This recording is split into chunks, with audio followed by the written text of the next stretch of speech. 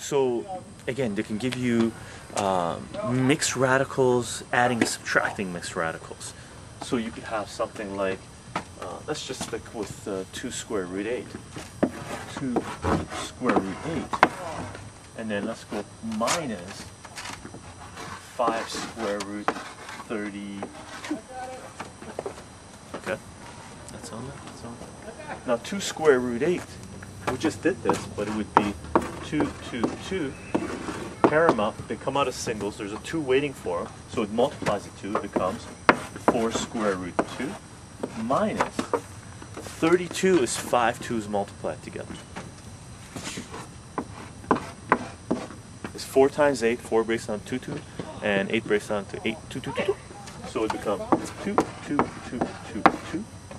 Square root means bring out those those two 2's as a single 2, bring out those two twos as a single 2. So 2 times 2 is 4, it comes out as multi, as a 4, basically, because those two come out as a 2, those two come out as a 2. What's waiting for him is a 5, so 4 times 5 is 20. Square root 2.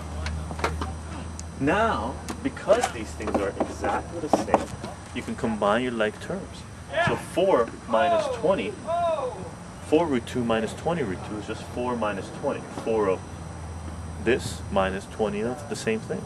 So it just becomes negative 16 square root 2. Okay? And that just means it's a negative number. This is not a negative in the exponent where you flip the whole thing. This is just a negative number. Okay. Um, don't get confused. I'm going to say it again. Don't get confused between what's in the base and what's in the exponent.